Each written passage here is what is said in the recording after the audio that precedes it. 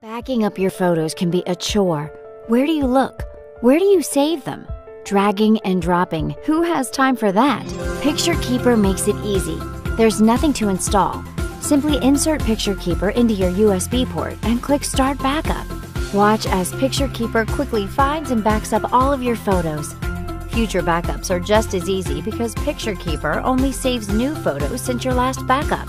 And when one Picture Keeper fills up, the next one picks up where the last one left off. Picture Keeper, the simplest automatic photo backup.